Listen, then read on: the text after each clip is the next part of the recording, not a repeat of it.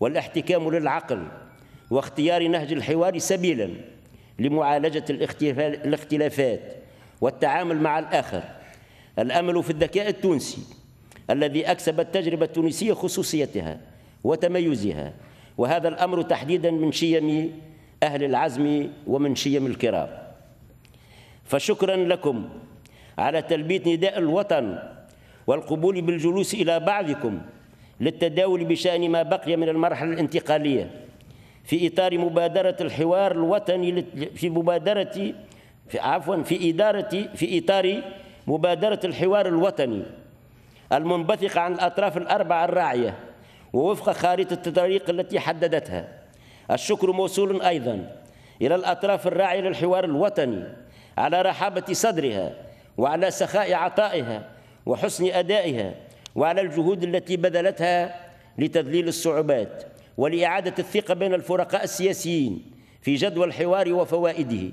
سيدات والسادة كما لا يخفاكم فأن تونس تمر وبشهادة الجميع بأزمة سياسية واقتصادية واجتماعية وأمنية خانقة غير مسبوقة. أزمة متعددة الأوجه أصبحت تتطلب إجراءات جريئة وعاجلة للخروج منها.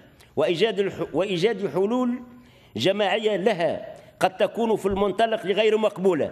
لهذا الطرف أو ذاك أن الأيام تمر والأوضاع تزداد سوءا على أكثر من سعيد ومخاوف الأصدقاء كما الأشقاء كما التونسيات. والتونسيين منفكت تتملك الجميع بشأن الثقة في قدرة التجربة التونسية على النجاح والتألق خاصة أمام التراجع المستمر في الترقيم السيادي لتونس على المستوى الاقتصادي واستشراء مظاهر الفوضى والعنف والتهريب والإرهاب على المستوى الأمني. تفاقم الاحتقان والتذمر والتظاهر الاحتجاجي الناجم عن تدهور القدرة الشرائية واستفحال البطالة والفقر على المستوى الاجتماعي. والتشنج الذي قد يصل حد العدائية والذي أصبح يتبع الخطاب السياسي ومراسم التعامل فيما بين الأفراد والأحزاب. لقد سئم التونسيون دوامة التجاذبات والمراوحات فيما البلاد تغرق يوما بعد يوم بل ساعة بعد ساعة في أزمة اقتصادية واجتماعية خانقة وفي عملية لي ذراع لا يرى أحد مآلها ولا يدرك أحدا عواقبها وويلاتها. أن تونس في حاجة اليوم إلى التهدئة وليس إلى الخطابات والمواقف المتشنجة. أن تونس في حاجة إلى توافق جميع أبنائها وقواها والتخلي عن فكرة الأغلبية والأقلية. على الجميع أن يعي بأن لا طرف قادر على حكم البلاد بمفرده كما أن لا أحدا من مصلحة إقصاء الآخر. الجميع أمام خيارين اثنين لا ثالث لهما. أما التوافق على قاعدة أجندة وطنية تجسد إرادة الجميع وتراعي المصالح المختلفة وخارطة الرباع أفضل تجسيم لها. وأما فتح الأبواب على مصراعيها أمام المجهول وأمام الأجندات الخارجية بتداعياتها التنموية والأمنية والاجتماعية والبيئية وهو ما سنتصدى إليه جميعا إن شاء الله بكل قوانا. سيدات والسادة أن حالة الاحتقان القصوى التي تمر بها بلادنا والتي بلغت حد الاغتيالات السياسية التي أفقدتنا الشهيدين شكري بالعيد والحاج محمد الإبراهيمي وطالت جنودنا ورجال أمننا وحرسنا الوطني وباتت تنذر بأخطر السيناريوهات الإرهابية وأسوأها وتمثل تهديدا مباشرا للسلم والأمن والاقتصاد والتنمية. وقد وجب الكشف عن ملابساتها وفتح تحقيق مستقل حولها واتخاذ الإجراءات القانونية حيالها وكشف الحقيقة لكل التونسيين بما حملوا كل طرف مسؤوليته سواء بسبب التورط أو التقصير أو حتى عدم المشاركة في معناها القضايا الإرهابية هذه.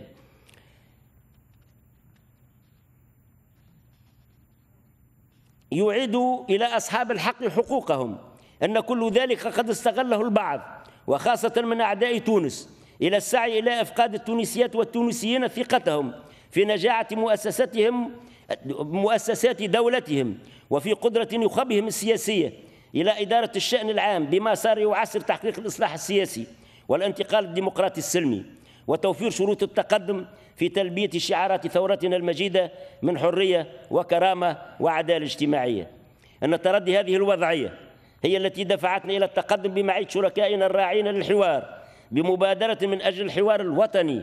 وقد أكدنا منذ البداية عدم انحيازنا إلى أي طرف كان وأن إطلاق مبادرة الحوار الوطني تمت بواعز الشعور بالمسؤولية تجاه الوطن باعتبارنا طرفا فيه ومكون أساسي منه وليس من منطلق الوساطة أو من قبيل التطفل على الشأن السياسي. وقد حرصنا بصفتنا تلك على إشفاع مبادرتنا بخارطة طريق واضحة المهام والأجال لاختصار الوقت ولتصويب الحوار إلى ما اعتقدنا أنه متأكد ولا يقبل الانتظار. ومن شأنه المساعدة على الخروج من حالة الإرباك الكبيرة التي تعيشها بلادنا وهو الإعلان الصريح عن البدء في المفاوضات سواء كان بالنسبة مبدأ استقالة الحكومة ثم بعد ذلك الاستقالة الحقيقية وتشكيل حكومة كفاءات غير متحزبة تراسها شخصية وطنية مستقلة والإبقاء على المجلس التأسيسي بما يضمن نجاحه وجديته. وها نحن قد استوفينا اليوم وبفضل تفهم الجميع كل الترتيبات الضرورية للالتقاء حول مائدة الحوار الوطني.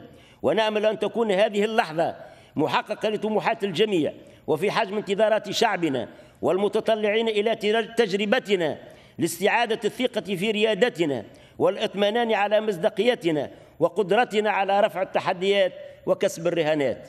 سيدات وسادة أن الأحكام التي نطلقها على الآخرين قد تكون أحيانا ناتجة عن سوء الفهم وعدم القدرة على الاستماع إلى الآخر.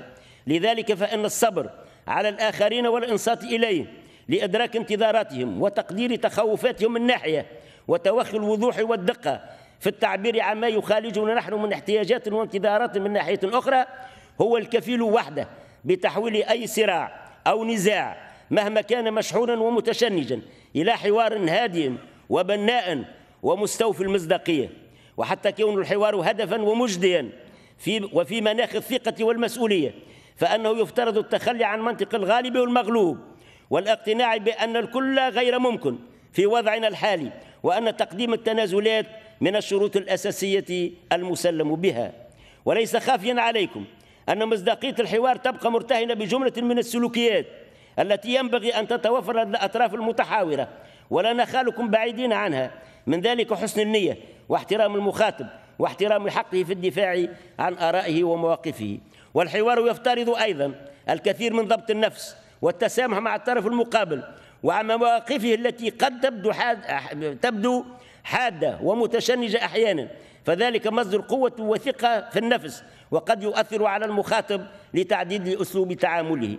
إننا نؤكد على ذلك فلأننا حريصون على ألا تلقي ألا تلقي التجاذبات التي سيطرت إلى حد الآن على المشهد السياسي وعلى العلاقات بين الفرقاء السياسيين بظلالها على ما نحن عازمون عليه. لمعالجة, لمعالجة أوضاعنا الاقتصادية والاجتماعية والأمنية. وليتذكر الجميع أننا على مركب واحد وأن, وأن لا فضل لواحد على الآخر إلا بحب هذا الوطن وبالإخلاص في خدمته والتفاني في تحقيق ازدهاره والتضحية من أجل سلامته وسيادة قراره. فالوطن أولا وقبل كل حزب أو تكتل أو مصلحة شخصية ومن لا يحب وطنه ولا ينمي عزة الانتماء إليه تقل مناعته ويصبح أداة طيعة في أيدي أعدائه ويوظفونه بمشيئتهم. سيدات والسادة لا شك أنكم واعون بأن الصعوبة اليوم التي نسعى إلى التغلب عليها تكمن أولا في تغيير العقليات والاقتناع بالأولويات المطلقة للمصلحة الوطنية ومغالبة النفس القبول بالتضحيات وتقديم التنازلات ولكنها تكمن أيضا في إحداث مؤسسات قادرة على تحقيق أهداف الثورة وأهم حاجيات المواطنين ومنها الأمن الضامن للحياة والعمل اللائق والإنتاج والعيش الكريم. وحتى نتواجد هذه العقبات النفسية التي تمنعنا من مد جسور التواصل وأحلال الثقة اللازمة للعمل الجماعي المشترك ولكي نضمن الحوار الجدية المطلوبة والمصداقية المنشودة من خلال إشارات تمأنة يمكن توجيهها لعموم شعبنا. فمن الضروري الحرص على اختصار أجال هذا الحوار الذي بدأناه وخاصة إكساب نتائجه الصبغة الإلزامية حتى لا تبقى مجرد إعلان نوايا لا غير. كذلك وأن تبقى التوافقات التي قد تصدر عن هذا الحوار تحت ضمانة ومراقبة الرأي العام فأن الأطراف الراعية مدعوة إلى متابعة الالتزام بالتعهدات المنبثقة عن تلك التوافقات. بل أكثر من ذلك فأن من شأنها أن تحث جميع الفرقاء على صياغة هذه التعهدات صياغة قابلة للتنفيذ يمكن الاحتجاج بها لدى جميع الأطراف.